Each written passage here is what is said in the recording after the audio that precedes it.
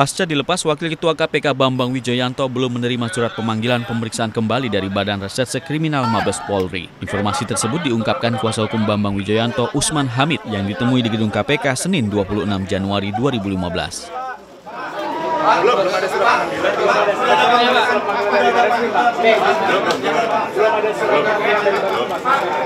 belum.